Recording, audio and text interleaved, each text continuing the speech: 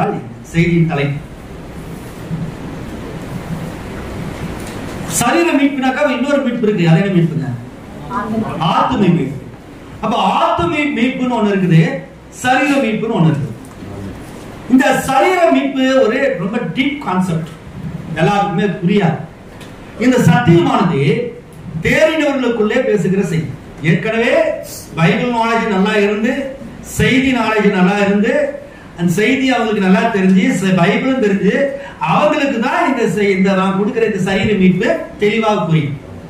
மற்றவங்களுக்கெல்லாம் ஒரு வேலை புரியலாம் புரியாம இருக்கலாம். ஒரு வேலை நல்லா கொடுத்தாரு போல இருக்குது அப்படின்ட்டு தான் இருக்குமே தவிர மாத்திரமல்ல இந்த கூடாரத்தில் இருக்கிறவங்களுக்கு மாத்திரமல்ல இந்த செய்தியானது வெளியே செல்கிறது.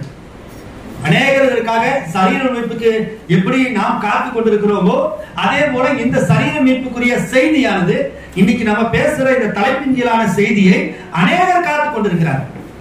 எப்ப பிறகு யூடியூப்ல போட்டீங்க? எப்ப அந்த செய்தி வரும்? ஏன் அப்படின்னாக்கே இந்த தலைப்புக்கு வந்து நிறைய விஷயங்கள் உண்டு. ஒரு ஒரு சகோதரர் சொல்லுகிறார் சரீர மீட்பு முடிந்து விட்டது. இனியெல்லாம் நம்ம ரச்சிக்கப்பட்டு நம்ம சரீரம் என்னாச்சு? சரீரம் எல்லாம் உயிர் திறந்தாச்சு நீங்க நினைக்கிற மாதிரி நம்மள மேல பறந்து போய் இயேசுவை வந்து அப்படியே நம்ம இந்த சினிமா படத்துல எல்லாம் அப்படி இந்த பெண் வெள்ளை விட போது பெண்கள் போய் அப்படியே கதாநாயகரை பிடிக்கிற மாதிரி இயேசுவை பிடிக்கிற மாதிரி படம் எல்லாம் போடுறாங்க இல்லையா? மேக ஸ்தம்பத்துல மனவாட்டி பறந்து போற மாதிரி. அப்படியெல்லாம் கற்பனை கிடையாது. அப்படி ஒரு சிலர் சொல்றாங்க. ஒரு சிலர் சொல்றாங்க சரீர் மீட்பு இங்க வந்தாச்சு. ஆண்டவர் இப்ப இங்கதான் இருக்காது இனி நம்ம மத்திய ஆயுதத்துக்கு நம்ம போகணும். நம்ம சரீரம் மீட்கப்பட்டாச்சு. புதுசா இந்த சரீரம் மாற மாற வேண்டியதில்லை. என்னைக்கு இந்த செய்தி நீங்க தெரிந்து கொண்டீர்களோ அன்னைக்கு நீங்க சரீர மீட்பு பெற்றுக் கொண்டாச்சு அப்படின்றாங்க ஒரு சிலர்.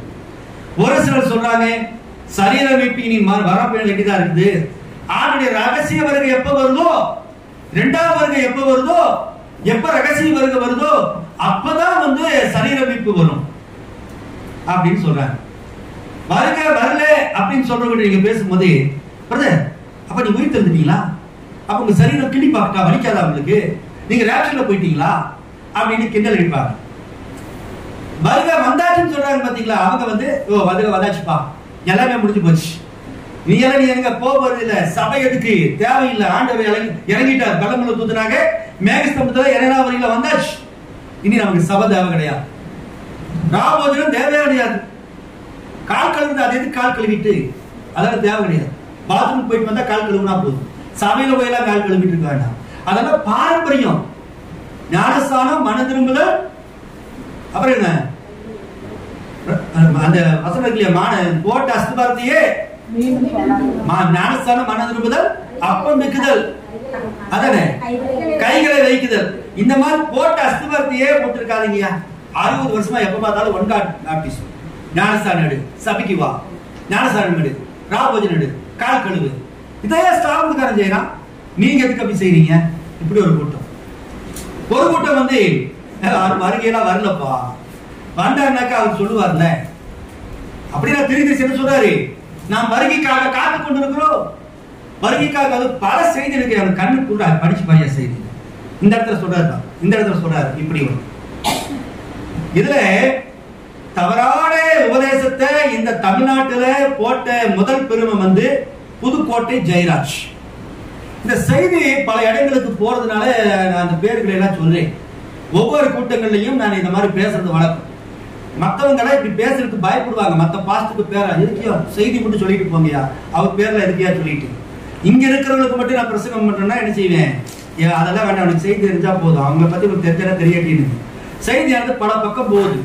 இது ஒரு போராட்ட களம் வார் ஃபீல்ட் யுத்த களம் நான் ஒரு போராட்டக்காரி. கேள்வி என் மேல வைக்கப்பட்டு இருக்கு. என்னை எதிர்க்கிறான் ஏதோ வ- த- ஊழியம் தடை போடுறான். நிறைய இந்த ஒரு மினிஸ்டர் கார் வந்தாச்சுன்னா எதிர்கட்சிக்காரன் என்ன பண்ணுவான். முடிஞ்ச அளவு போராடி பார்ப்பான். போலீஸ் எல்லாம் வருதா? தூரத்தில் போய் என்ன பண்ணுவான். மரத்தை வெட்டி போடுவான். கம்பில் முள்ளு கம்பி சுற்றி அப்படி போட்டுருவான். மினிஸ்டர் கார் வர வர என்ன ஆகும்? தடை எல்லாம் எடுத்துட்டு போகியா அப்படின்ட்டு. அந்த மாதிரி நம்ம ஊழியத்துக்கு போகும்போது நிறைய நேருக்கு நேர் மாதிரி தானுங்க வலை அங்கிருந்து தடைக்கற்கள் நிறையா. நமக்கு யாராவது பாஸ்டருக்கு ஆதரவு கொடுத்தாங்கன்னா அந்த பாஸ்டர் வந்து ஐயோ ராஜா உள்ள விட்டுறாதீங்க. உங்க பொண்டாட்டி பத்திரம் உங்க புள்ள பத்திரம் உங்க மக பத்திரம் அப்படிமா இல்லைனாக்க நீங்க தவறான உபதேசம் பிரதர் நீங்க அப்படி பிரதர் இப்படி பிரதர் ஏதோ ஒண்ணு நமக்கு கீழே அண்டர் கிரவுண்ட் வேலை என்ன பண்ணிட்டு தான் இருப்பாங்க. எல்லாம் கடந்துதான் இந்த ஊழியம் போயிட்டு இருக்கு ஏன் தெரியுமா? முப்பது ஆண்டுகளாக தேவனுடைய வார்த்தையை கொடுத்துட்டாரு. நேருக்கு நேரு எங்கிட்ட நிக்கிறதுக்கு அவங்களுக்கு துணிவு கிடையாது. நம்ம எத்தனையோ சேலஞ்சு பண்ணி பார்த்துட்டோம். நேர் எப்படி பேசுறோம் யூடியூப்ல போடுறோம். தப்புன்னு நீ வந்து பேசு. நானும் வரேன் நீ வா பேசுவோம். இந்த ஸ்டார்ட் பண்றது வாட்ஸ்அப்ல போடுறதெல்லாம் வேணாம். இன்னொரு மொழியை காட்ட சொல்றது அதில் நே நேருக்கு நேரு வா. அவங்க அது வர்றதில்லை. அதனால தான் நம்ம என்ன செய்யறோம் இப்படினாலும் நம்ம பேசுறோம். அப்போவாது ஜனங்கள் என்ன சொல்லிட்டு கொஞ்சம் விழிப்புணர்வு வரட்டும். புதுக்கோட்டை ஜெயராஜ் இந்த இந்த தமிழ்நாட்டிலேயே முதல் முதலாக தவறான உபதேசத்தை கொண்டு வந்தது அதாவது ரேப்சர் நடந்துச்சு. மருக வந்துட்டதுனால என்னாச்சு? இனி நமக்கு ராபோஜனம் இந்த திராட்சரசம் குடிக்கிறது அப்பம் சுட்டு சாப்பிடுறது கால் கழுவுறது இதெல்லாம் வேண்டாத வேலை. இதெல்லாம் வேண்டாம் நிறுத்திட்டார். அதுக்கு பிறகு அவருடைய சிஷ்யன் திருச்சி ரூபன் இல்லைங்களா? அவர் அதை ஃபாலோ பண்ணார். அதை பண்ண சபையில பெரிய பிரச்சனைகள்லாம் வந்துச்சு. அதுக்கு பிறகு வெளியாயிட்டு தெரியுமா? விருப்பப்பட்டவங்க எடியா இருப்பு அவன் எடுத்துட்டீங்கன்னாக்க நான் மாசமான கொடுக்குறேன். ராபோஜனம் இருக்குது விருப்பப்பட்டவங்க எடுங்க. ஆனா என்ன? ராபோஜனம் அவசியம் கிடையாது. மாம்ச ஒரு மோச ஒரு வசனம் சொல்லுவார் இல்லையா? ஆண்டவர் சொல்றார் அவர் ஒரு மனைவி வேசித்தனம் பண்ணுனா அவளை டைவர்ஸ் பண்ணிடலாம் அப்படின்னு யார் சொல்றா? மோச சொல்லியிருக்கிறானே அப்படிங்கும் போது ஆண்டவர் சொல்றாரு ஆமா ஆமா மோச சொல்லிட்டேன் நான் அப்படிதான் சொல்றேன் சொல்லல. அவர் அந்த இருதய கடினத்து நிமித்தம் என்னதான் சொன்னாலும் டைவர்ஸ் பண்ண ரொம்ப குறியா இருக்கிறான். அவன் ஒழுங்கா இருந்தா கூட டைவர்ஸ் பண்ணணும்னு தான் அவன் நினைக்கிறான். அதனாலதான் மோசம் பண்ண ஐயோ அவன் தப்பு பண்ணனாக்கா அவனை டைவர்ஸ் பண்ணு. இருதய கடிதத்து நிமித்தம் தான் சொன்னாரே தவிர உண்மையிலேயே வந்து ஆணும் பெண்ணுமாக சிரிச்சித்தார் ஒரு ரெண்டாவது பொண்டாட்டிங்கிற மேட்டரே கிடையாது. அப்படின்ட்டார். அப்படிதான் ஏசி சொன்னார். தரிசி அவங்க இருதய கடிதத்தினால தான் சொன்னார். அது போல ரூபன் என்ன சொல்றாருன்னா இவங்க ரெண்டே பட்சம் இருக்கிறவங்க இருதய கடினம். மலைபுல தூதன் வந்தாச்சு நீ உனக்கு ராபத்திரம் தேவையில்லை ஞானஸ்தானம் தேவையில்லைன்னு அவங்க கேட்காம பாரம்பரியத்தினால கொடுத்துட்டே இருக்கிறாங்க. அதனால நான் என்ன செய்யறேன் பாரம்பரியத்தினால அவங்களுக்கு அப்பம் திராட்சை ரசம் கொடுக்குறேன். இப்படி ஒரு உபதேசம். ஞாயிற்றுக்கிழமை இங்க ஒரு இதே மாதிரி ஒரு அக்னி சபை கூடாருன்னு ஒண்ணு அங்க காந்தி ஒண்ணு அந்த சபை வந்து எப்படிப்பட்டவர்களே அது வரவே முக்காடு போடலையா ரைட் பேசு முக்காடு போடலையா ரைட் வருக வந்தாச்சா பேசு. வருக வரலையா பேசு. யார் ஒரு பெரிய ஆளா இருக்கணும் அவ்வளவுதான். பாப்புலாரிட்டி ஆள் வந்து நம்ம சபையில பேசினா போதும். அப்படி அவர் விரும்பக்கூடிய ஒரு சகோதரன். நல்ல சகோதரன் தான். புத்தி கொஞ்சம் சரியில்லை. ஆனா அவர் இப்படியே ஊழிகளை கூப்பிடுவார்.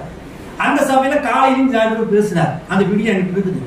இந்த செய்தி நான் பேசுறது யூடியூப்ல போடும்போது அதை அதையும் கொஞ்சம் கட் பண்ணி கட் பண்ணி ஜாயின் பண்ணுவேன். அதுக்காக ஒரே இடத்துல செய்தி வரும். அப்போ அந்த சௌரனை கேட்டாரு ஐயா உங்க சபையில இந்த சௌரன் வந்து பேசும்போது இந்த மாதிரி எல்லாம் பேசினாரா? அப்படின்னு. அது உங்களுக்கு யார் பதில் சொன்னது? எனக்கு வந்துச்சுப்பா. நான் பார்த்தேன் அப்படின்னு. எனக்கு தகவல் கொடுத்தது அவர் பேர் வந்து இன்னொரு சௌகரம் கொடுத்தாரு. நீங்க அதை கொஞ்சம் பாருங்க. பார்த்தாக்க அத்தனை இந்த மேகஸ்தம்பத்தை வச்சு நிறைய மனுஷன் வீணான கற்பனைகளை என்ன செய்யறாரு ஜனங்களுக்கு போதிக்கிறார் ஆண்டு சொன்னார் இல்லையா? அந்த மாதிரி சும்மா இப்படிதான் இல்ல அவரு. சின்ன நிச்சயமா ஒரு சினிமாவுக்கு போயிருந்தானா கதவசன கர்த்தாவா ரூபன் வந்திருப்பார். திருச்சி ரூபன். அந்த மாதிரி. இதுல இன்னொரு ஆச்சரியம்னாக்க திருச்சி ரூபனுடைய மனைவியுடைய சொந்த அக்கா இங்க வந்து உட்கார்ந்துருக்கிறாங்க. அவங்கள வச்சுட்டு தானே பேசிருக்கேன் நான் வந்திருக்கிறாங்க உட்கார்ந்துருக்கிறாங்க. சரிங்களா? ஆனா அவங்களுக்கு அந்த அளவுக்கு அவங்களோட உடன்பாடு நம்ம சொல்கிறத கேட்பாங்க. இருந்தாலும் என்ன அதை பத்தி நம்ம பிரச்சனை இல்லை. உண்மைக்கான சொல்றோம். அதனால யாரையும் காயப்படுத்திருக்கோம் ஃப்ரெண்ட்ஷிப் வேற டாக்டிங் வேற.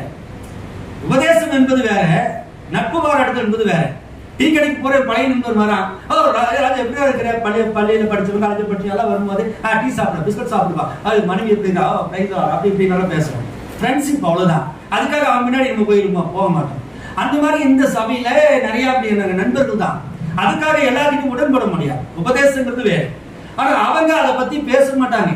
ஏன்னா பேசுனா நட்பு கட்டு போயிடும் கூட்டம் வராது. நம்ம மீட்டிங் வச்சா வர மாட்டாங்க. நம்மளை யாரும் கூப்பிட மாட்டாங்க. அப்படின்னு. ஆனா நான் வந்து அந்த விசப்பரட்சியில இறங்குறேன் எனக்கு என்ன கூட்டம் வராமையா இருக்குது. போகாமையா எனக்கு நடக்கிற நடந்துட்டு தான் இருக்கு எனக்கும் காணிக்க வருது. நான் தான் சொல்றேன் எனக்கு உண்டு. ஆனாலும் இந்த செய்தியை அன்னையிலிருந்தே பேசிட்டு இருக்கிறேன் சோத்துக்கு இல்லாம சிங்கியரிச்ச காலத்துல இருந்தே இன்றைக்கு பேசுகிற செய்தி அன்றைக்கும் இதுதான் பேசுறேன். அன்னைக்கு யாருக்காக நான் காம்ப்ரமைஸ் பண்ணல. அன்னைக்கு என் மனைவி என் பிள்ளைங்க கழுத்துல காதுல கம்மல் ஒரு சின்ன ஒரு இது கூட கிடையாது. அப்படிதான் இருக்கு. அன்னைக்கு எத்தனையோ பேர் என்கிட்ட சொன்னாங்க நீங்க எல்லாம் கொஞ்சம் காம்ப்ரமைஸ் பண்ணுங்க பிரதர் இந்த பிரச்சனை கொஞ்சம் டவுன் பண்ணுங்க அப்படின்னாங்க. நான் அதுக்காக காம்ப்ரமைஸ் பண்ணவே இல்லை. தெருக்குதரிசி என்ன கற்றுக் கொடுத்தா? மண்பானையில் இருக்கிற தண்ணியை குடிச்சு காற்று ஒட்டி தின்னாலும் பரவாயில்ல அப்படின்னு. பிச்சைக்கார மாதிரி ஆனாலும் கூட நான் இதே செய்தியில் தான் இருந்தேன். கத்தர் இன்னைக்கு நம்மளை எங்கேயோ கொண்டு போய் வச்சுட்டார். கத்தருடைய ஆசீர்வாதம் இன்னைக்கு நான் போய் மற்றவங்க கையேற்ற நிலைமைக்கு இல்லை. இன்னைக்கு அஹ், அதனால தான் இவங்களை எல்லாம் வந்து சொல்றேன் இன்னைக்கு. அவங்களே என் கூட பிரயாணம் பண்ணவங்க தான். இந்த இப்ப எடுத்துக்கிற இந்த தலைப்பு சரீர மீட்புங்கிற தலைப்பு இவங்க எல்லாம் வந்து நிறைய சொதப்பிட்டாங்க. ராய் மேத்யூ பலரால் அறியப்பட்டவர் இந்தியா முழுதும் போறாரு ஆந்திராவுக்கு போறாரு டெல்லிக்கு போறாரு அல்லது தமிழ்நாடு முழுதும் இப்ப எது நல்லது கெட்டதுக்கு அவர் கூப்பிடுறாங்க இல்லைங்களா? ஆனா அவருடைய அவரை தொடர்ந்து ஒவ்வொரு சபை இடத்துலயும் அவர் புத்திர சுபிகாரத்தை தான் அதிகமா பேசுவார் அடாப்ஷன் பத்தி பேசுவார். இன்னைக்கு வரைக்கும் அடாப்ஷனே என்னன்னு அவர் சொல்லல. மூணு மணி நேரம் ரெண்டு மணி நேரம் பேசுவார். அங்க இருக்கிறவங்க இப்ப நீங்களா பேசாம தான் இருக்கிறீங்க. அவர் என்ன பேச இப்ப நான் பேசுறதுக்கு ஆமே பிரைஸ் பிரைஸ் சேர்மன் மேல குதிப்பாங்க. எதுக்கு குதிக்கிறாங்கன்னு எனக்கு தெரியல. ரூபன் மீட்டிங்ல ரூபன் பேசுறாங்கன்னா அவரு அவங்க ஆமீன் போட மாட்டாங்க. இவரே ஆமீன். பிரைஸ் லாண்ட் அப்படி இவருக்கு அந்த வீடியோவில் நீங்க பாருங்க ரூபன் வீடியோவில் அவரே ஆமீன் அலையா போட்டுப்பாரு. ஜனங்க சொல்றாங்க இல்லையா? ஆமீன். பிரைஸ் லாண்ட் பாரு இப்படி எல்லாம் கோமாளிகள் மாதிரி எல்லாம் இருக்கிறாங்க. புத்திர சுவிகாரத்தை குறித்து ராய் மேத்யூ பேசுறாரு. தெளிவு கிடையாது. இருபது வருஷமா பேசிட்டு இருக்கிறார். அந்த நேரத்துல ஒரு ஜனங்க கத்துவாங்க. அப்ப பார்த்தா கடைசியில பார்த்தா பிரதர் அவர் என்ன சொன்னார் புத்திர சுவிகாரம் என்னன்னு சொன்னாரு தெரியல பிரதர். அப்படின்னா ரோமன் என்னென்னமோ பேசுறாரு. அதெல்லாம் சீக்கிரம் சொல்லுவேன். அது என்னமோ பேசுறாரு. அந்த நேரத்தில் அது பிளாஷ் ஆகும். நேத்து கூட அவர் பேசுற அந்த செய்தி வீடியோல இருக்கும்போது ஆமாம் நிலையில கொஞ்சம் பேர் கத்துறாங்க. அதுக்கு மேல இவர் வேற கத்துறாரு. இதுல இங்கிலீஷ் வேற. இங்கிலீஷ் மாதிரி துறை இங்கிலீஷ்லாம் பேசுதுப்பா. ஆனால் தமிழ்ல பேசுனாக்கா கொஞ்சம் எஃபெக்ட் கம்மி. ஆனால் இங்கிலீஷ்ல பேசுனாக்கா கொஞ்சம் எஃபெக்ட் ஜாஸ்தி.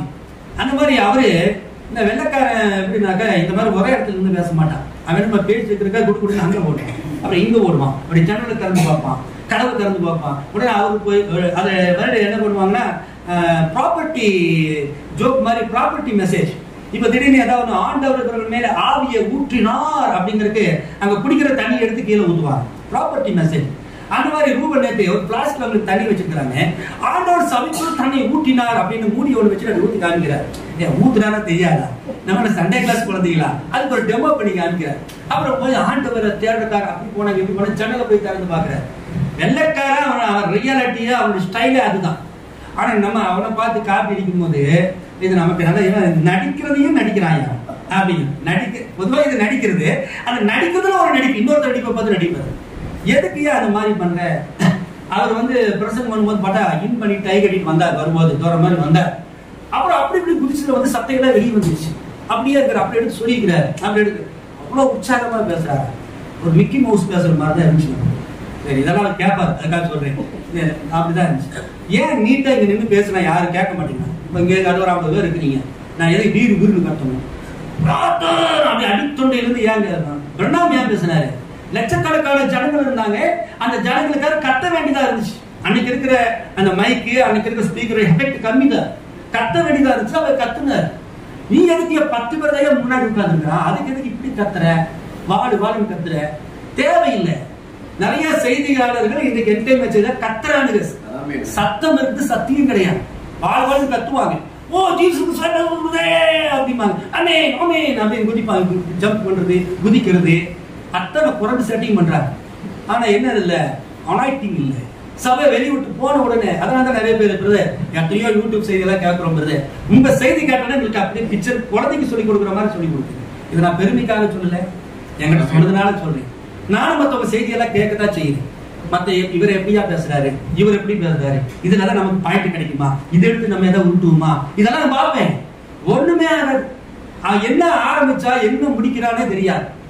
அப்ப சரீர மீட்பு அப்படின்னா இதுக்கு ஒரு கிளாரிட்டி மெசேஜ் நீங்க ஏதாவது என்டை மெசேஜ்ல நீங்க எடுத்து கொடுத்துருங்க பார்க்கணும். ஒரு கிளாரிட்டி மெசேஜ் இதாய சரீர மீட்பு. தெளிவா சொல்லிட்டார்.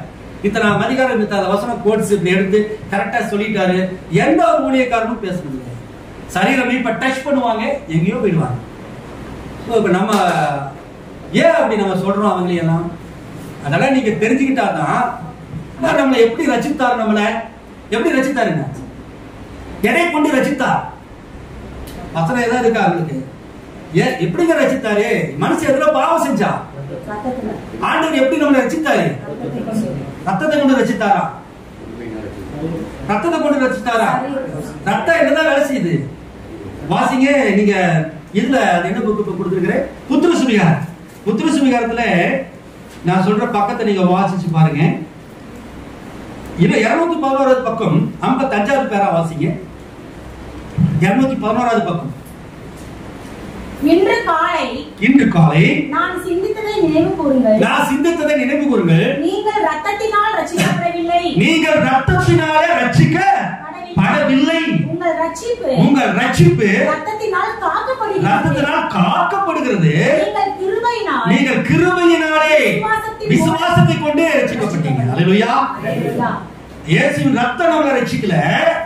அந்த இயேசுவின் ரத்தம் எதுக்காக நமக்கு சிந்தப்பட்டது தேவனுடைய கிருபை நம்ம மேல இருந்தபடினாலே எங்கள் கிருபையினாலே உங்களுடைய விசுவாசத்தை கொண்டு ரசிக்கப்பட்டீங்க இல்லைங்களா? பொதுவா ஸ்தானத்துக்காரங்க போய் ரத்தம் செய்யும் அப்படின்னு பாடுவான் ஐயோ இயேசு ரத்தம் ரசித்ததுன்னு ரட்சித்ததுன்னு. ஆனா ப்ராப்ளம் என்டைன்கார கூட தெரியாது. இயேசு ரத்தம் தான் நம்ம ரசித்ததுன்னு நினைச்சிட்டு இருக்கிறான். இயேசு ரத்தம் ஏன் நம்ம ரசிக்க ரசித்துதான் அந்த ரட்சிப்பை காக்கிறதுன்னு ப்ராப்ளம் சொல்றாரு. ஏற்கனவே நம்ம ரட்சிப்பை பெற்றுக்கொண்டோம். எப்படி? கிருபையினாலே. தேவன் கிருபை வச்சதுனால இதை கொடுக்குறாரு தவிர வேற ஒண்ணும் ரத்தத்தை வச்சு நமக்கு அவருக்கு கொடுக்கல. ரத்தம் ஏன் கொடுத்தாரு? அது கிருபை. ஒருத்தன் காலேஜ் ஃபீஸ் கட்ட முடியாம திணறான். என்கிட்ட வந்து கேட்குறான் பாஸ்டர் எனக்கு காலேஜ் ஃபீஸ் கட்ட முடியல. அப்ப அவனுக்கு நான் பணம் கொடுக்குறேன். பணம் கொடுத்த உடனே அவன் ஸ்கூல்ல அட்மிஷன் கிடைச்சிடும். காலேஜில் அட்மிஷன் கிடைச்சிடும். அந்த அட்மிஷன் அந்த பணத்தினாலேயே கிடைச்சது? பணத்தினாலேயே கிடைச்சது. பணம் கொடுத்தனால கிடைச்சது. இல்ல இல்ல. ஆனா உண்மையிலே அது என்ன தெரியுமா?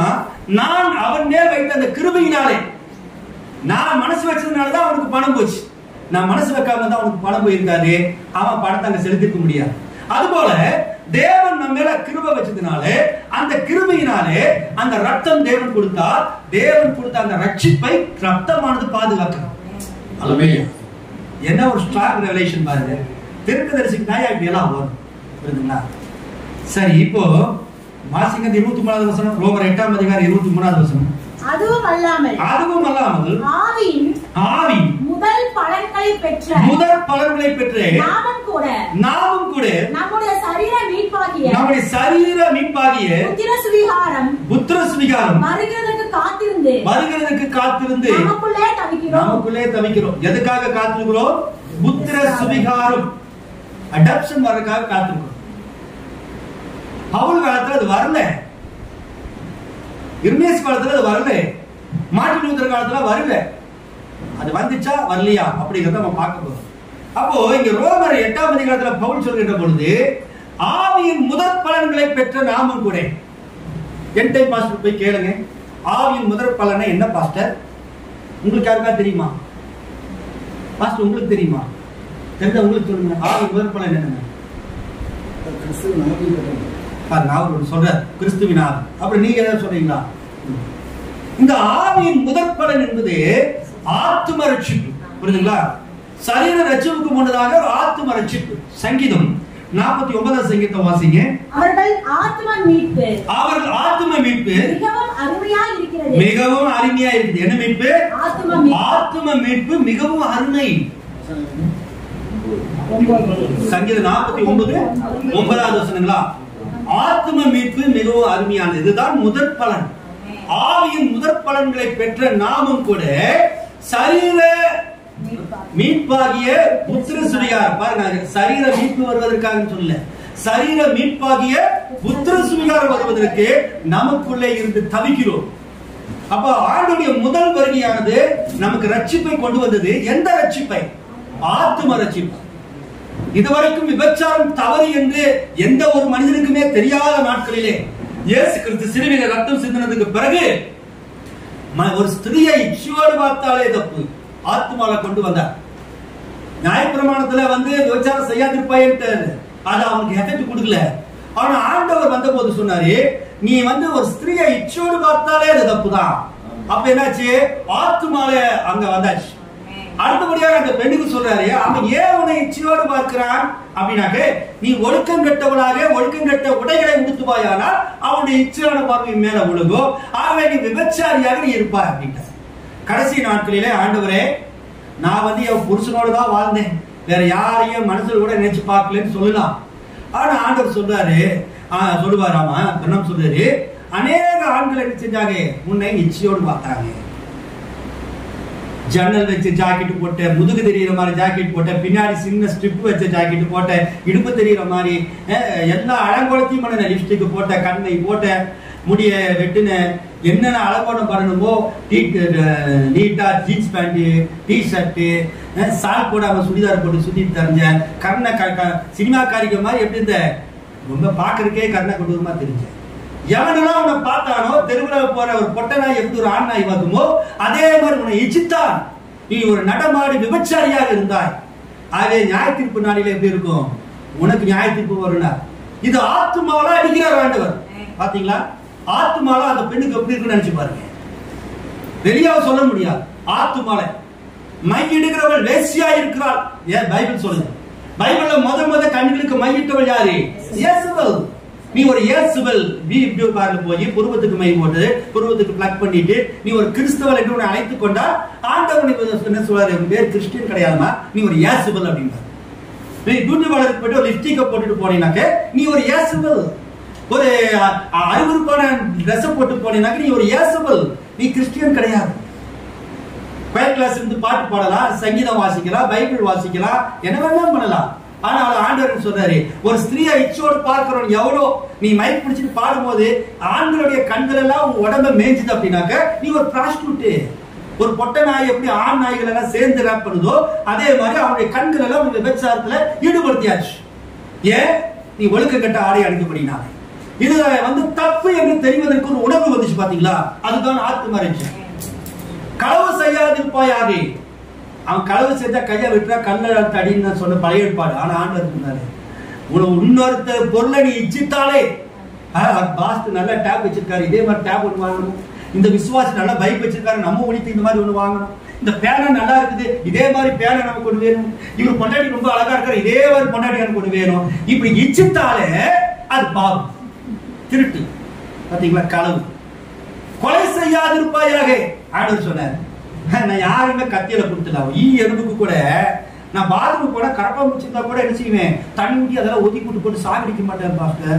நான் அப்படி போய் பார்த்துட்டு போயிட்டு வருவேன். எறும்பு இருந்தா கூட ஒதுங்கிடுவேன் எங்க வீட்டுக்கு பூனை ஒண்ணு வந்துச்சுங்களா? அது எல்லாம் நான் என்ன சாப்பாடு போட்டு துரத்து விட்டுருவேன். இதெல்லாம் நல்லதுதான். ஆனா நீ என்ன பண்ற? பக்கத்து வீட்டு பொம்பளைய சபைக்கு வர விசுவாசிய பாஸ்டர் வந்து எல்லாத்தையும் பண்ணி கேவலமா பேசுற.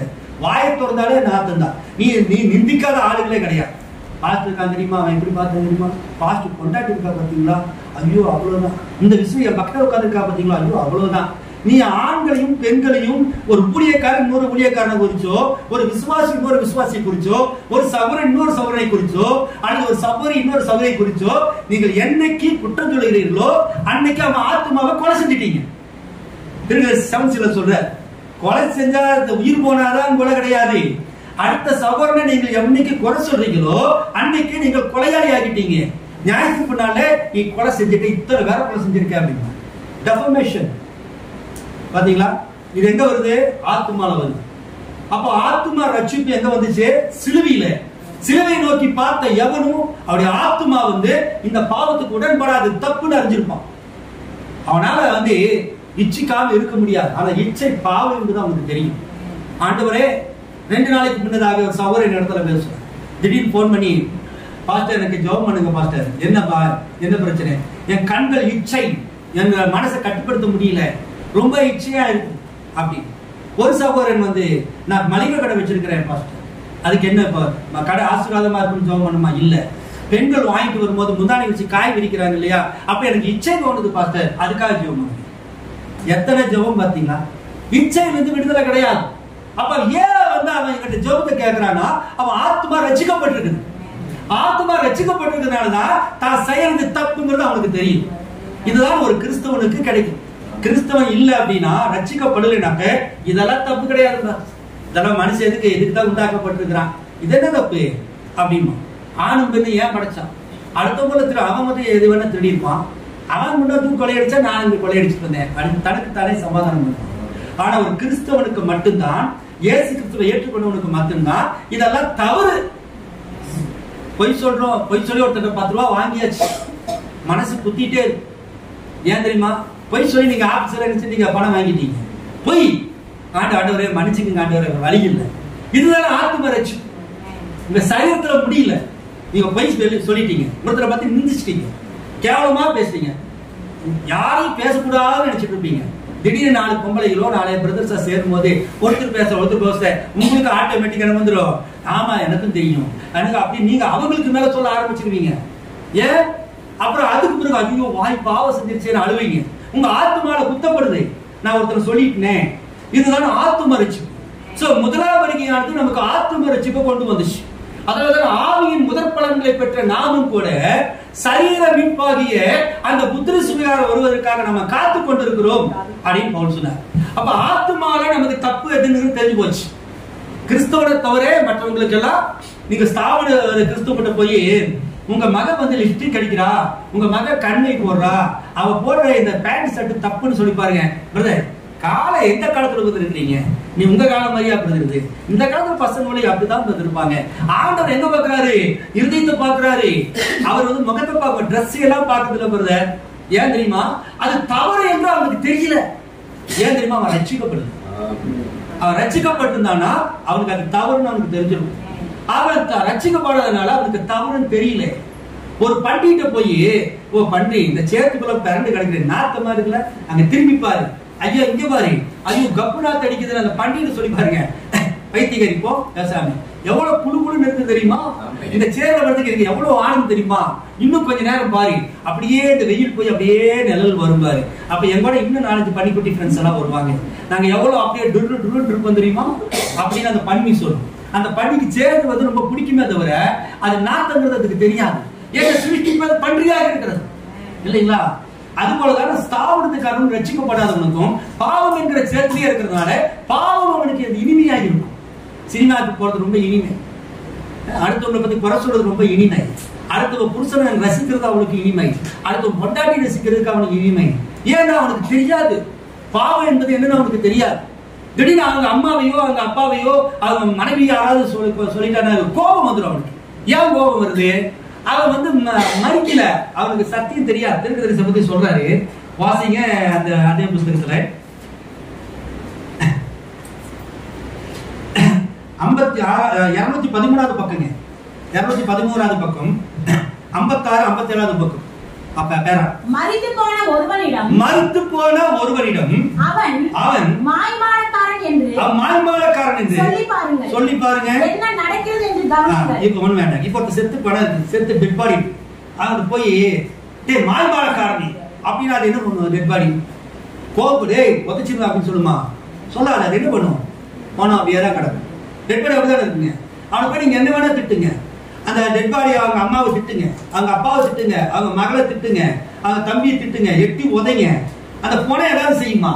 செய்யாது. ப்ராபர்ட் சொல்றாரு. வாசிங்க தொடர்ந்து. ஏய் மாய்மாலக்காரனே என்று சொல்லி மாய்மாலக்காரன் என்று சொல்லி அவனை உதைத்து அவனை பாருங்கள் உதைத்து பாருங்கள். அவனால் அவனால் ஒரு வார்த்தையும் கூட ஒரு வார்த்தையும் கூட பதிலுரைக்க முடியாது. பதில் இருக்க முடியாது. அவன் பிணமாக அவன் பிணமாக அப்படியே படுத்து கிடப்பான். அப்படியே படுத்து கிடப்பான். அது போன்று அதுபோன்று கிறிஸ்துவுக்குள் மரித்த ஒரு மனிதனை கிறிஸ்துவுக்குள் மறித்த ஒரு மனிதனை நீங்கள் நீங்கள் மாய்மாலக்காரன் என்றும் மாய்மாலக்காரன் என்றும் அல்லது வேறு ஏதாகிலும் அழைத்தால் அல்லது வேறு ஏதாவது அழைத்தால் அவன் கோபப்பட மாட்டான். அவன் கோபப்படவே மாட்டான். அவன் மெல்ல தழுவி அவன் மெல்ல நழுவி நழுவி உங்களுக்காக ஜெபம் செய்வான். ஒரு உண்மையான கிறிஸ்துவ என்ன செய்வா தெரியுமா? செத்து போன பிணம் மாதிரி. என்ன வேணா சொல்லட்டும். ஆ ராஜா நீ ஒரு மாய்மாலக்காரயா நீ ஃப்ராடியா நீ எல்லாம் பிரசங்கம் பண்றியா? எத்தனை எத்தனை பேர் கேட்டிருக்காங்க எனக்கு கேட்காத கேள்வியே கிடையாது. அவ்வளவு அசிங்கமா கழுவி கழுவி ஊத்திருக்காங்க நான் வந்து செத்து போன போன மாதிரி தான் ஏன் தெரியுமா? அவங்களுக்கு பதில் வந்து என்னுடைய வார்த்தைகள் இல்ல. நம்முடைய கிரியைகள். தேவன் நம்மளை உயர்த்த உயர்த்த தேவன் நம்மளை பயன்படுத்த பயன்படுத்த அதுதான் நம்மளுக்கு பதில். எரிச்சலாகும். பேசாம இருந்துருவோம் என் மனைவியை திட்டிருக்காங்க என் பிள்ளையை திட்டிருக்காங்க எங்க அம்மாவை திட்டிருக்காங்க என்ன திட்டிருக்கிறாங்க என்ன பேச்ச திட்டிருக்கிறானுங்க. கவலையோட ஏன் தெரியுமா? கிறிஸ்து இயேசுக்குள்ளாக நாம் சிறுவியில் அவரோடு கூட அடிக்கப்பட்டோம். வி ஆர் டெட் பாடி உலகத்துக்கு நாம் மறித்தவர்கள். ஒரு டெட் பாடி போய் என்னதான் சொன்னாலும் டெட் பாடி என்ன செய்யாது பேசாதான் அது செத்து போன பெணும் அப்ப உலகத்துக்காக நீங்க மறிச்சது உண்மைனாக்க யாராலும் உங்களை பத்தி ஏதாவது குறை சொன்னா உங்களுக்கு மேல கோபம் வரக்கூடாது. அதுக்காக அவர் என்ன சொல்றாரு அவன் என்ன செய்வானா. ஓடி போய் ஜெபம் பண்ணுவான் அப்படின்றார். நழுவிடுவான். சரி பாரு ஒருத்தர் ரோட்ல போயிட்டு இருக்கிறீங்க சபையில ஒருத்தர் வந்து எக்ஸ்ங்கிற பிரதர் ஒய்ங்கிற பிரதர் திட்டார் நீ இத பேசுனா அவ்வளவுதான். நீ ஏதோ பேசாதீங்க. மாயமாலக்காரன். உன்னை பத்தி தெரியாது எனக்கு எனக்கு பத்தி தெரியாது. நீ அன்னைக்கு என்ன பண்ணுனே? நீ தெரியாம நீ வந்து தம் அடிச்சுட்டு வந்து கம்யூனி எடுத்து இல்லையா? பாஸ்போர்ட் சொல்லிட்டா அப்படின்னு கோபம் வரும். ஆனா அந்த கோபப்பட்ட அந்த மனுஷர் ரோட்ல போகும்போது ஒரு ஆர்எஸ்எஸ் காரன் வரான்னு வச்சுங்களேன் டேய் இங்க வாடா. வெளிநாட்டுக்காரன் இங்க வாடா. எலும்பு துண்டு வாங்கிட்டு நீங்க கிறிஸ்துவ மதத்தை பரப்பையாட ஒரு கெட்ட வார்த்தை போடுறான்னு வச்சுங்களேன் அவன்கிட்ட பேசுவான் அவன். என்ன செய்வான்? அசாம வாயெல்லாம் அப்படி மூடிட்டு போயிடுவான். பேச என்ன ஆகும்? அடி ஓட பாத்தீங்களா? அதனால ஆண்டவர் சொன்னாரு யார் பேசுறான்னு செய்ய அமைதியா உன் சபை விசுவாசியானாலும் சரி உன் சகோதரனானாலும் சரி உன் சகோதரியானாலும் சரி யாராவது உங்களை குறிச்சு மாய்மானக்காரன் ஃப்ராடு அப்படின்னு பேசினாக்க நீ என்ன செய்யாது? கோபப்படாதே. அவருடைய பிரசங்கங்களை கேட்டோன்னா அவங்களுக்கு எல்லாம் கோபம் வருது. நம்ம எத்தனையோ திட்டுறோம். ஏன் கோபம் வருது அவங்களுக்கு? அவங்களுக்கு வந்து அவங்க சாகல இந்த ஆண்டவருக்காக சாகல. வார்த்தையை பிரசங்கிக்கிறாங்க. வா செய்தியை பேசுறாங்க. ஆனா ராஜா மேல கோபம். கோவையில் என்ன பண்ணுவாங்க? அவங்க நம்மளை வரவேற்பாங்க. பிரதர் எங்க வீட்டில் ஒரு பிறந்த நாள் பிரதர் வந்து ஜோ பண்ணிட்டு போங்க பிரதர் பிரதர் எங்களுக்கு இந்த கல்யாண நாள் பிரதர் ஜோ பண்ணிக்கு பிரதர் பிரதர் எங்களுக்கு கல்யாணம் வச்சிருக்கிற பையனுக்கு பிள்ளைக்கு வாங்க பிரதர் நீங்களும் வாங்க பிரதர் அவன் ஏன் கூப்பிட மாட்டேங்கிறான்? அவனுக்குள்ள ஒரு வெஞ்சன்ஸ் நம்மளை இப்படி சொன்னான் இல்லையா? நம்மளை இப்படி சொல்லிட்டான் இல்லையா? இவன் ஊழியத்தை நான் கெடுக்கிறோம் பார். இவனை பத்தி அப்படி சொல்றேன் பார். இவன் ஃபீல்டுலயே இருக்க கூடாது அவன் அந்த அந்த க- அந்த கள்ளங்க அவனுக்கு எப்படி வருகிறது? அவன் கிறிஸ்துவுக்காக மறிக்கல. மறிச்சாதான் அவனை தேவன் நம்ம பயன்படுத்த முடியும். இல்லைனாக்க பேசுற பேச்சு வார்த்தைகளோட அலங்காரம் இருக்குமே தவிர அந்த வார்த்தையில என்ன இருக்காது? அனாட்டிங் இருக்காது. தேவனுடைய வார்த்தை இருக்காது. அது இருதயத்தை தொடாது. புதிய விசுவாசிகளை கொண்டு வராது. எந்த மெசேஜ்ல எத்தனை பேர் ஸ்தாபனத்துல ஜனங்களை கொண்டு வந்திருக்கிறாங்க? ஹீரதயால பாஸ்டர் இருந்து பத்து பேர் இன்னொரு பாஸ்டர் எடுத்துட்டு போயிருவோம். அந்த பாஸ்டர் இருந்து அந்த அங்கிருந்து பத்து பத்து அஞ்சு பேர் இன்னொரு பாஸ்டர் எடுத்துட்டு போயிருவோம். இப்படிதான் சபை நடக்குது?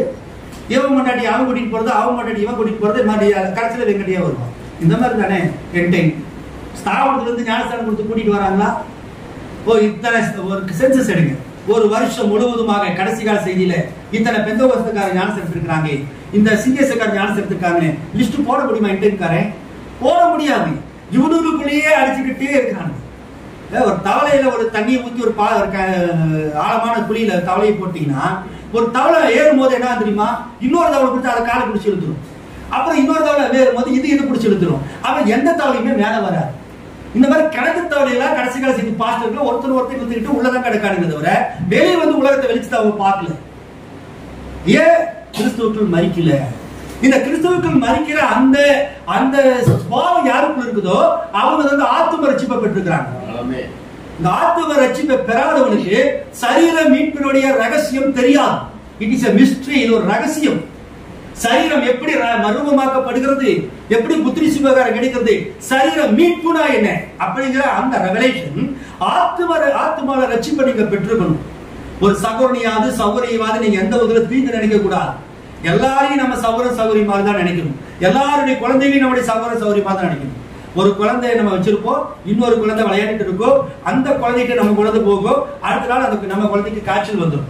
உடனே நம்ம என்ன சொல்றோம்? அந்த குழந்தைகிட்ட விளையாடுறதுனாலே குழந்தைக்கு காய்ச்சல். இல்லைங்களா? ஏன் அந்த அந்த குழந்தைக்கு காய்ச்சல் அது தானே கத்தர் படைச்சாரு. அதனால ஒரு காய்ச்சல் வந்துருமா? உன் குழந்தைகிட்ட இருந்து இன்னொரு குழந்தைக்கு காய்ச்சல் போகாதா? ஏன் அப்படி நினைக்கிற? உனக்குள்ள அந்த ஆத்ம ரட்சிப்பு இல்ல. எல்லாரையும் நேசிக்கணும். எல்லா குழந்தைகளும் கர்த்தருடைய பிள்ளைகள். ஒரு ஈ எறும்பு நாய் பூனை எல்லாத்தையும் நேசிக்கணும். அப்பதான் நீங்க ஆத்ம ரட்சிப்பு பெற்றுக்கிறீங்க சி நாயை வெளியே போ. நாயை கல்லெடுத்து அடிக்கிறது நாய் வால்ல என்ன செய்யறது? டப்பா கட்டி பட்டாசு கொடுத்துருது கழுது வால்ல பட்டாசு என்ன செய்வாங்க? டப்பா கட்டி பட்டாசு கொளுத்துவாங்க. நாயை வந்து தூங்கிட்டு இருக்கும்போது போய் பெரிய டம்முன்னு அடிக்கிறது. இதெல்லாம் என்ன தெரியுமா? அவனுக்குள்ள இருக்கிற அந்த பிசாசு. ஏன்னா ஆதியிலே விலங்குகளை பாதுகாக்கிறதுக்காக வைக்கப்பட்ட கேருப்பு யாருங்க? மிருகங்களை பாதுகாப்பு சொல்லி ஆண்டவர் யார்கிட்ட சொல்லியிருந்தார்? லூசிபர்ட்டு இங்க இருக்கிறதான மிருகங்கள் அழகான மிருகங்கள் இருக்குதுப்பா. அழகழகான பூனை இருக்குது நாய் இருக்குது மயில் இருக்குது கோழி இருக்குது கொக்கு இருக்குது வாத்து இருக்குது நீர் யானை இருக்குது சிங்கம் இருக்குது புலி இருக்குது டினோசர் இருக்குது பெகமத்து இருக்குது. இதெல்லாம் நீ என்ன செய்ய? அழகா பார்த்துக்கணும் வேணுங்கிற ஃபுட்டெல்லாம் போடணும். அதுக்கு கறி ஒருத்தர் ஒருத்தர் அடிச்சு சாப்பிடாது இதுக்கு தென்னமட்டை சாப்பிடும் இது இளநீ சாப்பிடும் இது புல்லு சாப்பிடும். நீ அழகா போடு. ஆனா சாத்தான் என்ன செய்யல? ஆனா நீ காப்பாற்ற வைக்க அபிஷேக காப்பாற்றுவதற்காக அபிஷேகம் பண்ணப்பட்ட கேரு. மிருகங்களை காப்பாத்துறதுக்காக தான் உன்னை வச்சேன். ஆனா நீ மேட்டி மீனால என்ன செஞ்ச? அதை சாகடிச்சிட்டேன் ஏன் அவன் சாகடிச்ச? இந்த மிருகங்களை யாருடைய மிருகம்? ஆண்டவருடைய மிருகம்.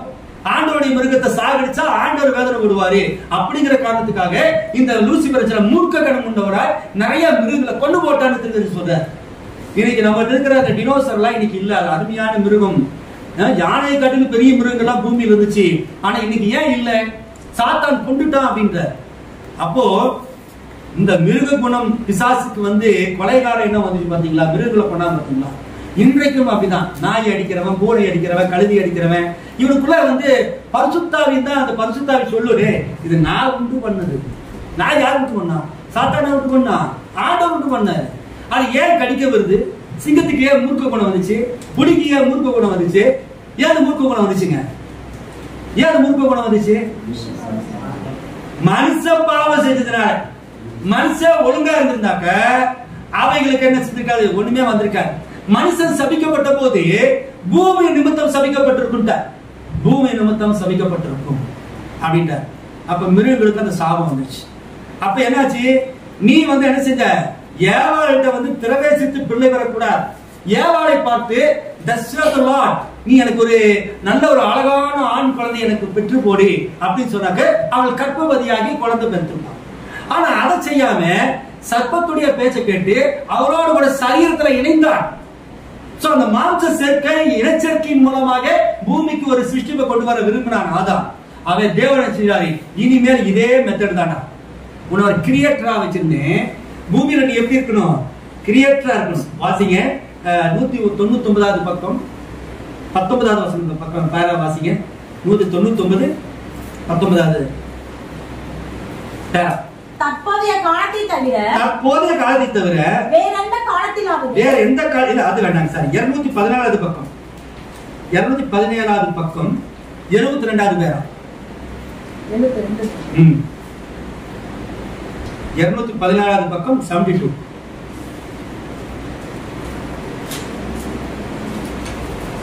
ஓ சுதந்திரம். இருநூத்தி பதினேழாவது பக்கம் செவன்டி டூ செவன்டி சிக்ஸ்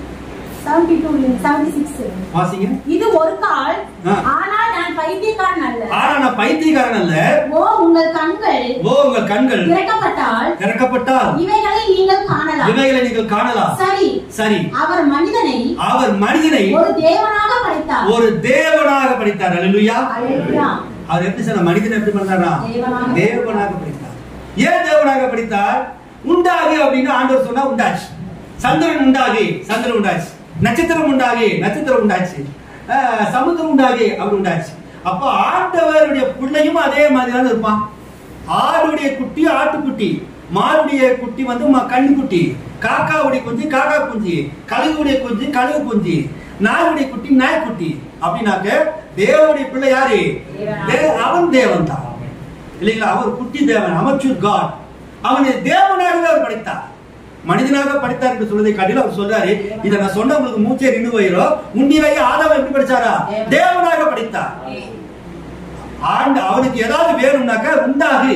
அப்படின்னா உண்டாயி. இன்னைக்கு ஏதோ ஏவா சொல்லுவா எனக்கு ரெண்டு ஆப்பிள் வேணும். நான் ஏதாவது போய் பிடிச்சிட்டு வாங்க. பேசாம எத்தனை நான் ரெண்டா ஒரு டஜன் ஆப்பிள் உண்டாகு. ஒரு செடி வந்துடும் ஆப்பிள் இந்த பறிச்சு ஏவாள் போட்டு இப்போ ஏழு பிடிக்கலாம் போல இருக்குதுங்க. தஸ்யதுலா அப்ப தேவன் நாக அவர் படைத்த போது அவர் தேவனாகத்தான் மனுஷனை படித்தார். ஆனா இப்ப அது நம்ம இல்லை. ஏன்? ஆதாம் செஞ்ச பாவத்து நிமித்தம் சர்வ சிருஷ்டியும் சபிக்கப்பட்டது. பூமி நிமித்தம் சபிக்கப்பட்டிருக்கும். அப்ப இதுகளுக்கெல்லாம் மூர்க்க குணம் வந்தாச்சு. அப்ப சிங்கத்துக்கு ஏன் மூர்க்க குணம் வந்துச்சு? மிருகங்களுக்கு ஏன் மூர்க்க குணம் வந்துச்சு? பறவைகள் ஏன் காட்டு பறவைகள் வீட்டு பறவைகளா மாறிச்சு? வீட்டுக்கு நிறைய இப்படி எல்லாம் ஏன் மாறிச்சு? மனுஷனுடைய பாவத்து நிமித்தம். அப்ப மனுஷன் ரட்சிக்கப்பட்டால் அவைகளும் ரட்சிக்கப்படும். மனுஷன் பாவம் செஞ்சபடினால அவைகளும் பாவத்தில் விழுந்துச்சு. மனுஷன் என்னைக்கு ரட்சிக்கப்படுகிறானோ அன்னைக்கு அவைகளும் ரட்சிக்கப்படும். இல்லையா? வசனம் இருக்குது இல்லையா? சர்வ சிருஷ்டியும் ஏகமாய் கடைசி பிரசவ அதிகார வசனம் தெரிஞ்சு வாசிங்க. ரோமர் எட்டாம் அதிகாரம் பத்தொன்பதாவது வசனம் வாசிங்க. மேலும் மேலும் தேவனுடைய புத்திரர் தேவனுடைய புத்திரர் வெளிப்படுவதற்கு வெளிப்படுவதற்கு சிருஷ்டியானது. மிகுந்த ஆவலோடே மிகுந்த. ஆவலோட காத்துக் காத்துக் கொண்டிருக்கிறது அது ஏனென்றால் சிருஷ்டியானது. அழிவுக்குரிய அடிமைத்தனத்தில் நின்று அழிவுக்குரிய அடிமைத்தனத்திலிருந்து விடுதலையாக்கப்பட்டு தேவனுடைய பிள்ளைகளுக்குரிய தேவனுடைய பிள்ளைகளுக்குரிய மகிமையான சுயாதீனத்தை அடிமையான ஸ்தியானத்தை பெற்றுக்கொள்ளும் என்ற நம்பிக்கையோடு அந்த சிருஷ்டியானது அந்த சிருஷ்டியானது சுய இஷ்டத்தினாலே அல்ல. சுய இஷ்டத்தினால அல்ல.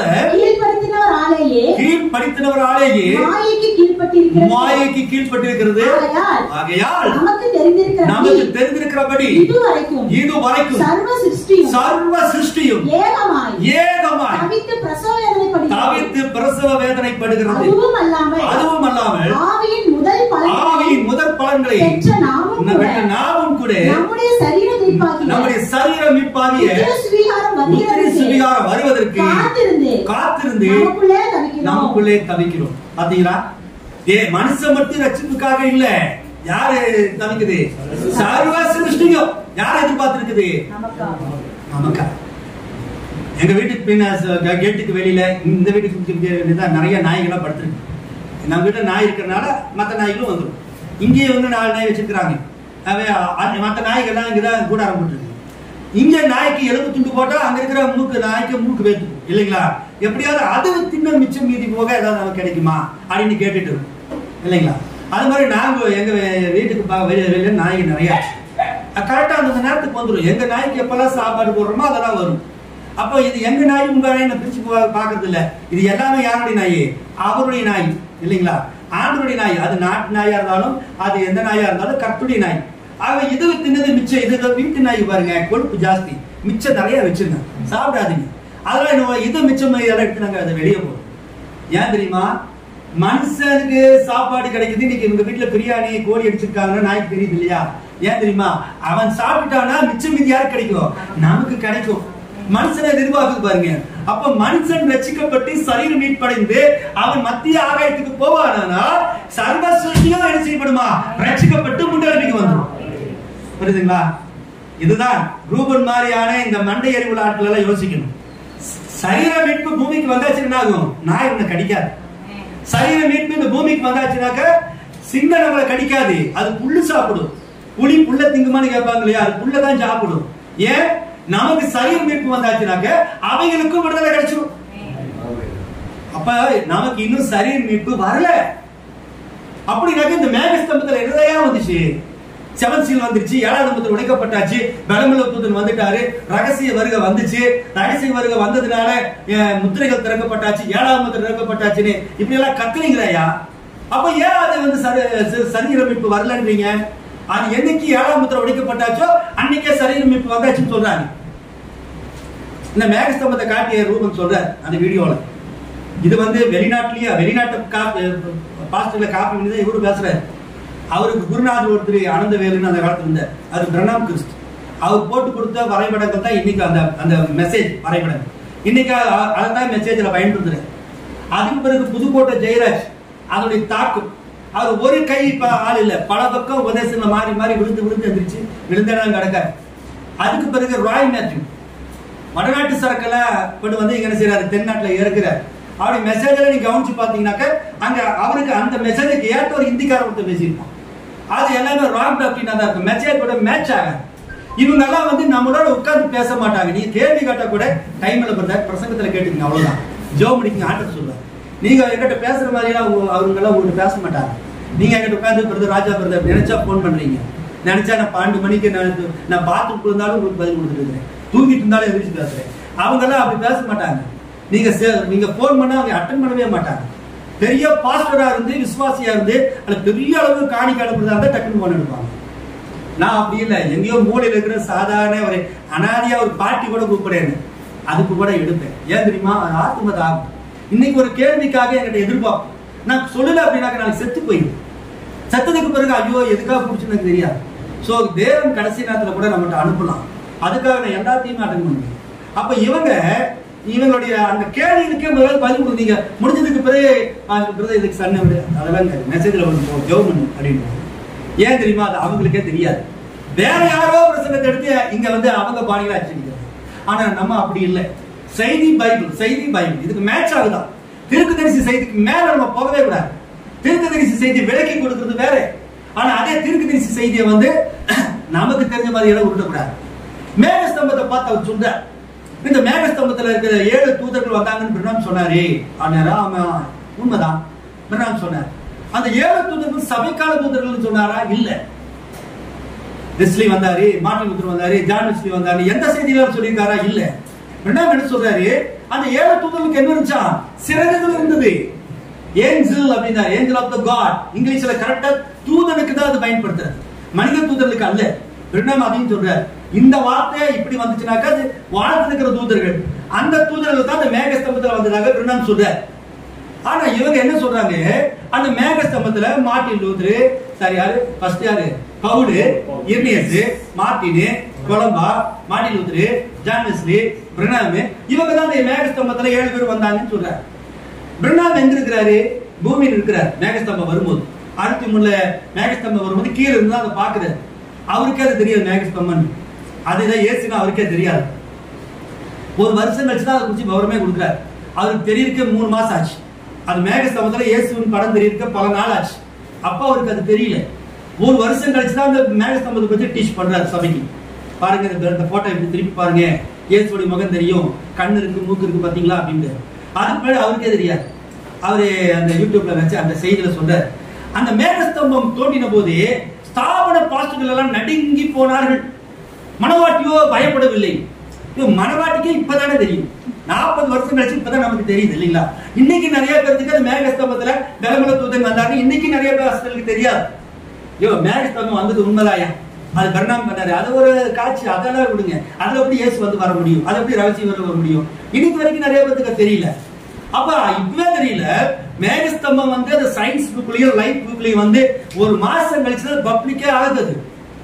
தாவர பாஸ்டர்களை எங்கேயாவது ஓடி போய் ஒளிஞ்சானுங்க. அவங்க அதை கேர் பண்ணவே இல்லை. ஆனா ரூபன் சொல்றாரு எல்லாம் போய் எடுத்தாங்களா ஒளிச்சுக்கிட்டாங்களா ஆதாரம் இருக்குதா இந்த பாஸ்ட் போய் பதுக்கி கொண்டார். இந்த பாஸ்ட் போய் ஒளிந்து கொண்டார். ஏதாவது நியூஸ் இருக்கா மெசேஜ் இருக்கா? ரெண்டாமுக்கே தெரியாது வீணான வார்த்தை வீணான கற்பனைகளினாலே தங்களோட உபதேசத்தை பேசுறாங்க அப்படின்னு. அப்புறம் அந்த மே மெல்ல பகுதி இருக்கு பாத்தீங்களா? அதெல்லாம் வந்து ஏழு தூதர்கள் மட்டுமில்ல நம்முடைய தியோபனி எல்லாம் வந்து அந்த மேகத்தில் வந்துச்சான் அவர் வந்து மறித்து உயிர்த்தல் போகும்போது எப்படி போனார்? இங்கிருந்து போனார்ல எப்படி போனாரு? நேரத்துக்குள்ள போனார். தனியா போனாரா? தனியா போனாரா? பழைய ஏற்பாட்டு பரிசுத்தவான்களையும் கூட்டிட்டு போனார். உண்மைதானே? அவர் சொல்றார் அவர் வெறுமையா போகல. ஒரு கூட்டத்தை கூட்டிட்டு போனார். அப்ப வசனம் சொல்றது எப்படி போனாரோ அப்படிதான் இறங்கி வருவாரு அப்ப கூட்டிட்டு போனதுனால அவர் வரும்போது கூட்டத்தோடு தான் வந்தாரு. அப்படின்றார். கரெக்டா இருக்கிற மாதிரி தானே தெரியுது. இல்லைங்களா கரெக்டாக இருக்கிற மாதிரி தான் தெரியுது இதான் அங்க கவனிக்கும் போது. கூட நாங்கள் சபையில் ஆமீன் வைத்துவார் அப்படின்னு. நம்மளை மாதிரி ஆள் இருந்தால் தான் அங்கே நோட்டணும் சரிங்களா? அவள் எப்படி போனாரோ அப்படியே வந்தார். சரி இப்போ அது போனவங்க வந்து திரும்பி வந்தவங்க அதுக்கு என்ன டெபினிஷன் கொடுங்க அந்த வெள்ளை கலரா மேகத்தில் இருக்கிறதெல்லாம் அவங்களுடைய தியோபனி சரீரம். கோடிக்கணக்கான தூதர்கள் கோடிக்கணக்கான தியோபனி பாடிஸ் அங்க வந்துச்சு அப்படின்றார். எந்த செய்தியில தீர்க்கதரிசி சொல்லியிருக்கிறார்? ஒரு குறிப்பு கொடுக்க முடியுமா? தீர்க்கதரிசி எந்த செய்தியிலுமே மேகஸ்தம்பத்தை சொல்லும் போது அந்த மேகஸ்தம்பத்தில் ஏழு தூதர்கள் இருப்பதை கவனித்தீர்களா? அவ்வளவுதான். அதுக்கு மேல நீங்க பேசக்கூடாது. திருக்குதரிசி வந்து ஒரு கோடு போட்டாதான் நீங்க கோடு போட்டுமே தவிர திருக்குதரிசி வந்து கோட்டு போட்டாருன்னா கோடு போட்டாரா அதுக்கு மேல ஒரு கோடு போடக்கூடாது. மோசே ஆசிரிப்பு கூடாரத்தை கட்டினா நோவா வந்து பேழையை கட்டினா எப்படி கட்டினாங்க? நோவாவுக்கு பேழையை கட்ட சொன்னது யாரு? தேவன். அதுக்கு ப்ளூ பிரிண்ட் கொடுத்தது யாரு? தேவன். இவளுடைய நீளம் இவளுடைய உயரம் இவளுடைய அகலம். அவ்வளவுதான். அதன்படி நோவா கட்டுனான். இங்க இருக்கிறவன் நோவா வாங்க. இப்படி கதவு ஜன்னல் இப்படி வச்சீங்கன்னா மூணுக்கு ரெண்டு வைக்க கூடாது நாலுக்கு ரெண்டு வச்சா கொஞ்சம் காத்து நிறைய வரும்.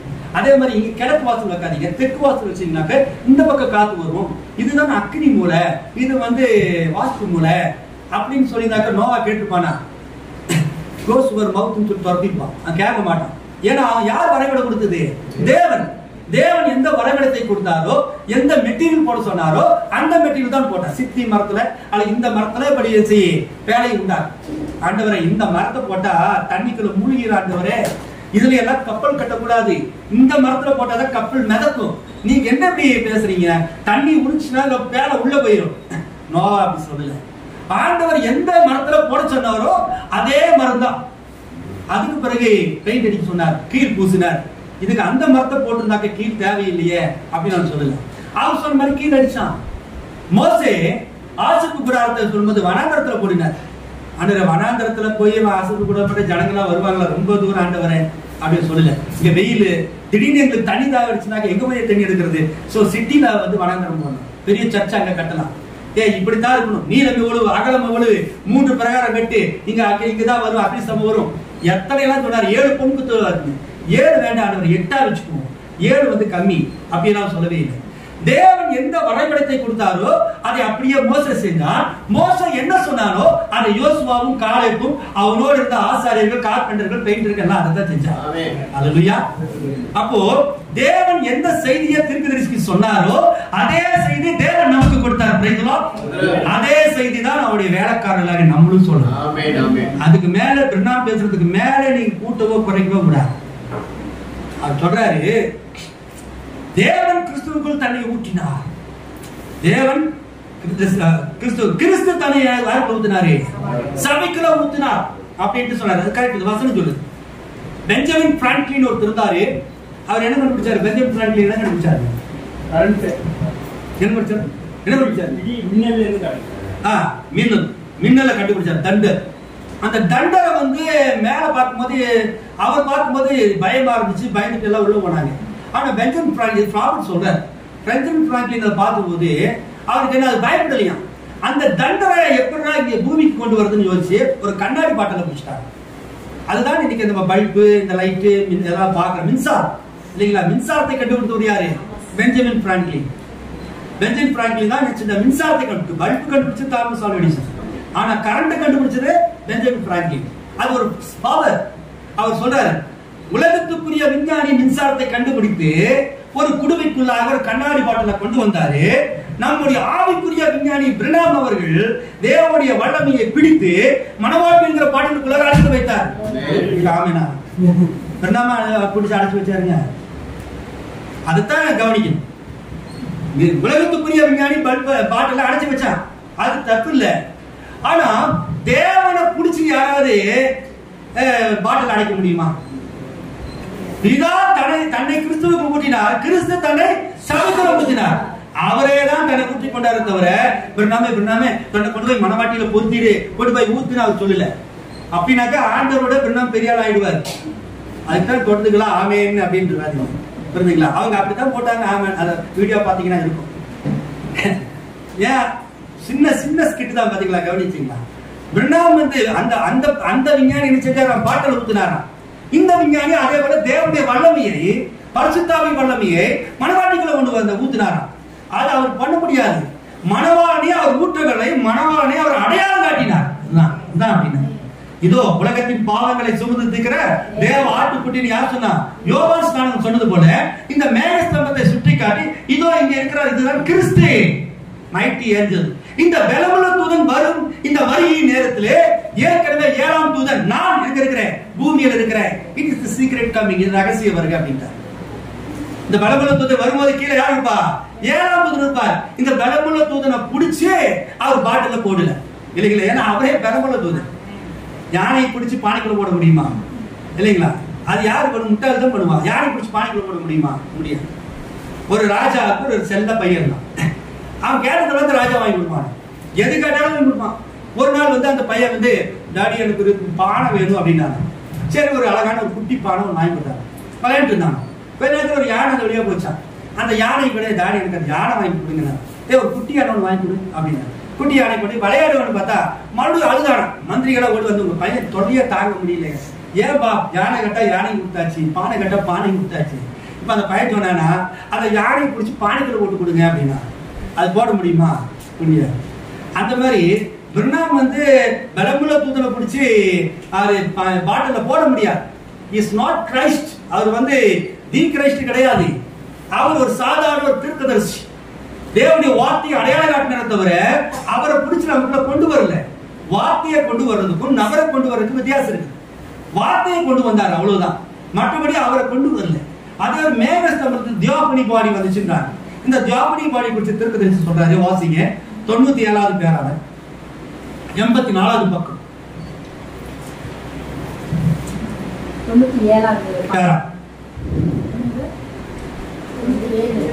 தொண்ணூத்தி ஏழு எண்பத்தி ஏழு எண்பத்தி நாலாவது பக்கம்.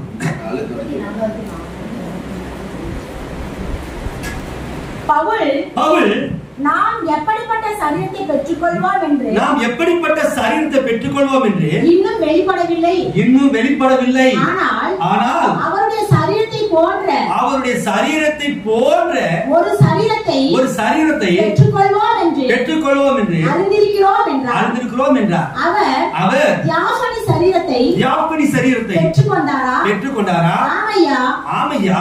அவர் மரித்து போன அவர் அவர் அவர் ம- மரித்த போது அவர் மறித்த போது பாதாளத்துக்கு சென்று பாதாளத்துக்கு சென்று காவலில் உள்ள ஆவிகளுக்கு காவலில் இருந்த ஆத்துமாக்களுக்கு பிரசங்கித்தார் என்று ஆவிகளுக்கு பிரசங்கித்தார் என்று வேதம் கூறுகிறது. வேதம் கூறுகிறது. அவர் எப்படி அங்கு சென்றார்? அவர் எப்படி எங்கு சென்றார்? எப்படி அவர் பிரசங்கித்தார்? எப்படி அவர் பிரசங்கித்தார்? அவருக்கு உணர்ச்சி என்னும் புலன் இருந்தது. அவருக்கு உணர்ச்சியும் புலன் இருந்தது. கேட்குதல் என்னும் புலன் இருந்தது. கேட்குதல் என்னும் புலன் இருந்தது. பேசுதல் என்னும் பேசுதல் என்னும் புலன் இருந்தது இருந்தது. அன்றிரவு நான் அன்று இரவு நான் மகிமைப்பட்டவர்களை கண்டேன். மகிமைப்பட்டவர்களை கண்டேன். அவர்களுக்குள் இருந்த அவர்களுக்குள் இருந்த. அதே போன்ற சரீரத்தை அதே போன்ற சரீரத்தை அவர் பிரசங்கித்தார். அவர் பிரசங்கித்தார். நோவாவின் காலத்தில் நோவின் காலத்தில் தேவன் நீடிய பொறுமையோடு தேவன் நீடிய பொறுமையோடு இருந்த நாட்களில் காத்திருந்த போது காத்திருந்த போது கீழ்ப்படியாமல் போன கீழ்ப்படியாமல் போன காவலில் உள்ள அந்த ஆவிகளுக்கு காவலில் உள்ள ஆவிகளுக்கு அவர் பிரசங்கித்தார். பிரசங்கித்தார். போதுங்க இப்போ அவர் வந்து சிலுவையில ஜீவனை விட்ட உடனே அவருடைய ஆவி எங்க போயிடுச்சு?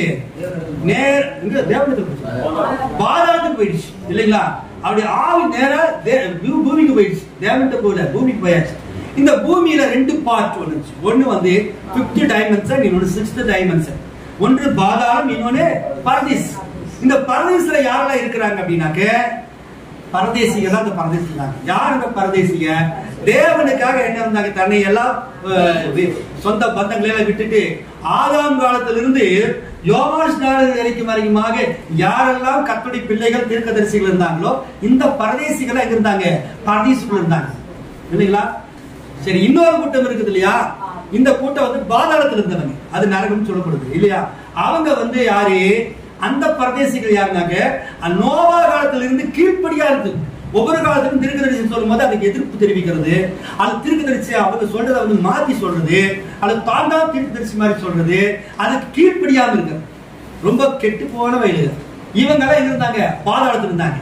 இப்ப ஆண்டவர் வந்து ஆதியிலிருந்து சொன்னா மெஸ்ஸியாவாக வருவேன் நான் நட்சத்திரமாக வருவேன் நான் அப்படியா வருவேன் இப்படியா வருவேன் கழுத்து மேல வருவேன். இதெல்லாம் சொல்லியிருக்காரு இல்லையா? ஒவ்வொரு திருக்கு தரிசிகளும் அந்த திருக்கு தரிசனம் வரைத்தான் ஆதார் மடத்திலிருந்து ஏற்கனவே நாலாயிரம் ஆண்டுகளாக மெனி மோர் ப்ராபர்ட்ஸ் என்ன செய்யறாங்க இந்த ப்ராபர்ட்டி சொல்றாங்க.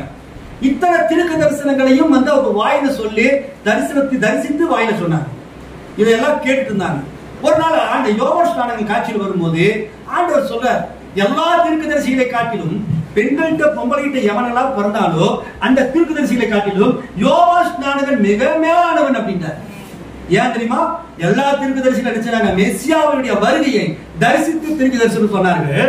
ஆனா இந்த யோவாசானகன் அந்த மெஸ்ஸியா அந்த தேவன் பூமியில வருவதை சொந்த கண்ணால பார்த்து தீர்க்கதரிசனம் சொன்னாங்க.